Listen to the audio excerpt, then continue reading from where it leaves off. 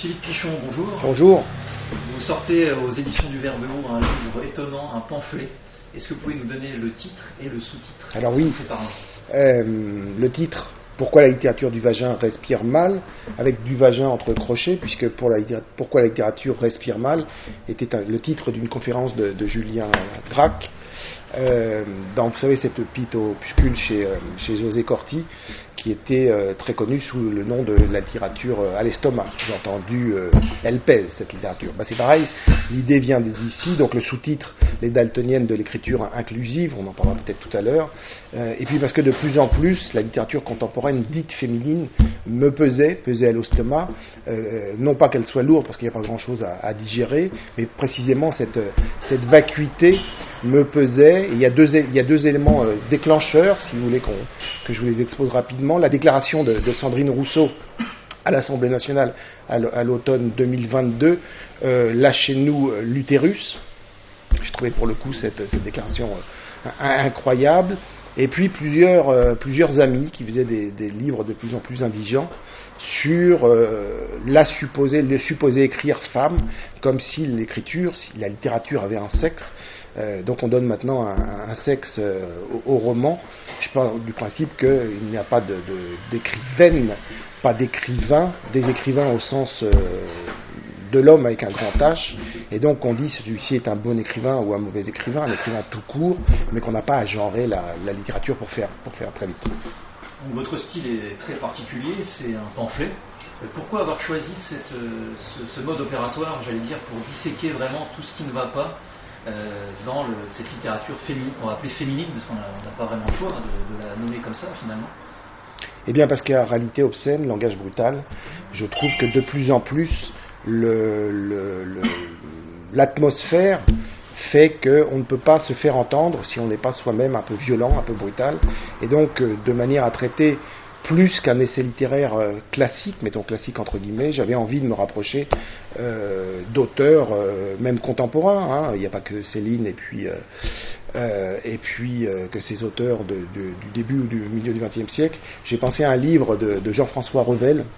Et donc j'aimais bien le style de Revel, et j'ai l'impression que je me rapprochais de, de, ce terrorisme intellectuel, et donc d'aller chercher une sorte de contre-terrorisme intellectuel pour exposer mon point de vue, qui, qui j'espère en voit un autre. L'idée force du livre, c'est donc de démontrer au travers de la, comme vous l'avez bien compris, de la littérature contemporaine, donc depuis les années 50 jusqu'à nos jours, comment un certain nombre d'auteurs euh, avaient vendu, vendu la cause des femmes par du charabia euh, romanesque et comment d'autres a contrario, euh, avait tenu bon, je pense à Yourcenar, dans une sorte de, langage, non pas gourmet mais classique, et comment elle n'avait pas besoin de se dire femme pour être l'écrivain qu'on connaît, euh, même reçu sous les ordres de, l'Académie euh, française.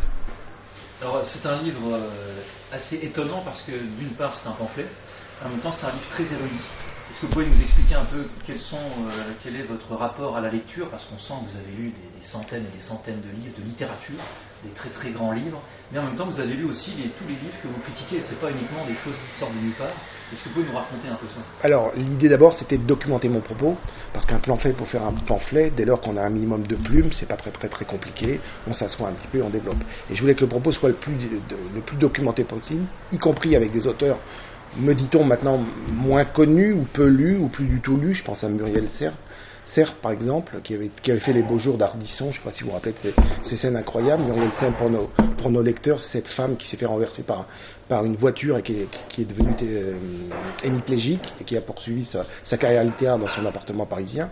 L'idée était de dire, d'aller chercher ces auteurs-là pour dire, euh, bah, vous voyez, il existe une littérature contemporaine féminine euh, qui ne revendique pas le genre et qui est capable de se hausser au meilleur, au, meilleur, euh, au meilleur niveau. La deuxième origine, puisque vous me parlez d'origine, c'est que très jeune, j'ai beaucoup, j'ai beaucoup lu, je, l'explique dans une sorte de, note de, de l'auteur, euh, dans la bibliothèque familiale, il y avait à peu près tout d'origine des forges, au général de Gaulle, c'est vous dire l'éclectisme de mes parents. Et à l'époque, c'est l'apparition, vous savez, des best-sellers. On ne parlait pas de best-sellers. Donc l'apparition de grands best-sellers, ça va des oiseaux se, se cache pour mourir, pardon, jusqu'à, encore une fois, les bluettes de, Régine des Forges qui sont plutôt bien foutus pour le coup. Et l'idée était d'aller chercher des écrivains, donc femmes, mais pourquoi pas hommes, je n'en ai pas trouvé, mais j'ai voulu donc remonter à des écrivains euh, plus anciens, que sont par exemple Colette, Virginia Woolf, et même des auteurs comme René Vivien ou Anna de Noailles. René Vivien, qu'on connaît, qui a développé le terme saphique, c'est bien ce que veut dire. Et donc c'est pas parce que euh, est lesbien, euh, en l'occurrence on est lesbienne, qu'on a besoin de se, proclamer tous les cinq minutes, tous les cinq minutes d'un autre genre entre guillemets poétesse remarquable et donc qui a traversé pas assez euh, notre époque, contrairement à d'autres euh, d'autres auteurs. On pourrait citer euh, Virginie Despentes, Christine Angot, qui me semblent être qui ont eu des bons textes, mais qui ne se renouvellent pas et qui me semblent tourner en rond autour d'un nombril femme. Et il y avait l'idée, j'ai également été chercher des, des, des, gens comme Julia Kristeva ou Hélène Sixius, donc plus cérébral, si tant est que les autres ne le soient pas, euh, pour dire, euh, bah, autour de cette, d'abord cette, cette, idée de construction, il y avait quelque chose d'artificiel dans la construction, comme si on avait besoin de se prétendre quelque chose pour aller chercher une fausse université, une, littérature qui finalement n'en est pas une ou qui s'adresse à un, public particulier. Et je fais la différence entre écrit féministe, écrit de femme, et écriture féminine.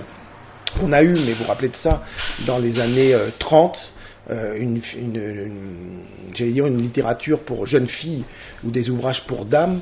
Là, on était sur le, évidemment l'accentuation des stéréotypes masculins, euh, féminins, pardon. On n'en est plus du tout là-dedans, euh, mais on est dans quelque chose précisément de, de, ce qui me semble être indigent, inodore, incolore, et qui ne porte pas, à mon sens, le public à aller vers la littérature. Il existe, évidemment, je fais une incise, cerise sur le gâteau, notre ami euh, Annie Ernaux, où on comprend bien que on ne peut pas dire décemment qu'on a été chercher le talent littéraire d'Annie Ernaux lorsqu'elle a eu le prix Nobel, mais évidemment quelque chose d'autre, une vieille dame, ou une dame d'un certain âge, d'extrême gauche, qui avait fait deux, trois euh, ouvrages sociologiques, d'ailleurs, qui ont plus une valeur, à mon avis, sociologique que littéraire, puisque euh, un style épuré ne veut pas dire avoir un style, il n'y a pas de style du tout, que les choses soient et jusqu'à son sa dernière œuvrette, son texticule de, de, 40 pages sur cet amour avec un jeune homme. Euh, un jour, vous verrez, les critiques se remettront à lire et on s'apercevra que, Annie Ernaux euh, ne, vaut pas, euh, ne vaut pas un paix de, lapine. Dans votre livre, il y a quelque chose qui ressort beaucoup, vous mettez le doigt là où ça fait mal, sans, sans mauvais c'est dans toutes les groupes finalement, le sexe est omniprésent, comme si le sexe finalement cachait, d'où le titre du livre, cacher en fait l'indigence littéraire. Euh, ça, vous le montrez bien dans le livre. C'est un argument évidemment promotionnel. Je reprends euh, votre propre expression, la littérature bas-ventre, qui est une expression que j'aime bien parce que pour masquer l'absence de style, le style imparfait, le style épuré qu'on veut voir blanc, qui en réalité est totalement transparent, on a besoin d'outils de communication. C'est dans l'air du temps. Hein. Ce sont nos minutes euh, McDo, hein. c'est-à-dire qu'on ne prend plus le temps d'écrire parce que ça n'a finalement pas tellement d'importance. Les, les, gens n'ont plus envie de lire. Et du coup, on les détourne certainement du, si tant est qu'il y ait une grande littérature, d'une littérature tout court, on a besoin d'aller chercher des, euh, comme ça, des, sortes de points de, communication, d'éléments de langage, comme on dit maintenant, pour masquer le vide. Et donc on va mettre sur un plateau télé. Ça, c'est l'après-pivot. Vous savez, on a eu besoin que les écrivains parlent de leurs livres, commentent leurs livres. Euh, c'est à la fois l'effet poche et l'effet pivot on va chercher l'auteur qui parfois n'a rien à dire. Hein. Je me rappelle de, Modiano qui était terrorisé sur les plateaux, qui est pourtant pour moi un grand, écrivain. Au sens grand écrivain, il n'y a pas des petits écrivains, mais quand on entend tout ce qu'on entend ailleurs, euh, Modiano euh, évidemment euh, est, un, écrivain. Et donc il était terrorisé de raconter cette enfance. Hein, alors qu'il a beaucoup plus de choses à dire que certaines de ces nouvelles dames patronesses. Est-ce que selon vous, euh, quand vous retracez la généalogie de tout ce mouvement euh, de littérature féministe, on va dire, pour faire vraiment très très caricatural, est-ce que finalement vous retracez aussi une forme, euh, vous allez me dire si j'exagère ou pas, une forme de, généalogie du wokisme bah, Est-ce qu'on ne trouve pas une, forme d'origine finalement dont personne ne parle Évidemment. Je, pense qu'on a déconstruit la littérature, qui n'est ni femme ni homme. Et, d'ailleurs, vous avez vu, je, commence le propos avec euh, Simone de Beauvoir. Donc on est grosso modo dans les années d'après-guerre, hein, parce qu'il y a évidemment une Simone de Beauvoir euh, et un Jean-Paul Sartre de guerre on pourrait en, parler euh, de grands résistants, sic, sic, sic.